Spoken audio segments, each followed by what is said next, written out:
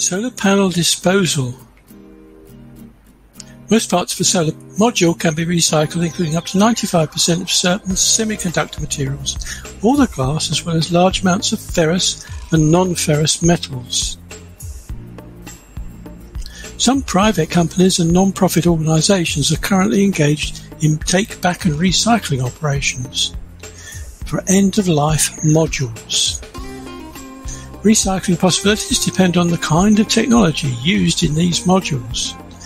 Based on modules for aluminum frames and junction boxes are dismantled manually at the beginning of the process. The module is then crushed in a mill and the different fractions are separated glass, plastics and metals.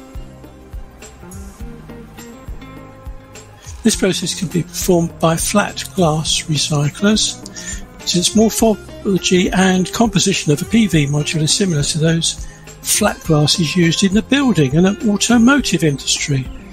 The recovered glass, for example, is readily accepted by the glass foam and glass insulation industry.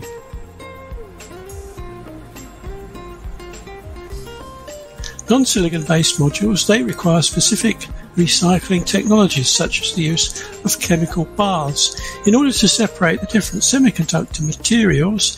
For cadmium telluride modules, the recycling process begins by crushing the module and subsequently separating the different fractions.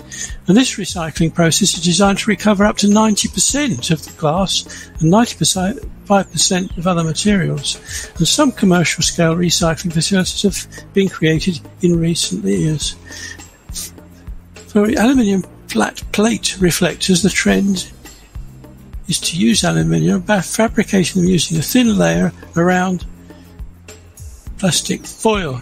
Since 2010, there's been an annual European conference bringing together manufacturers, recyclers, and researchers to look at PV. And the EU law requires manufacturers to ensure their solar panels are recycled properly.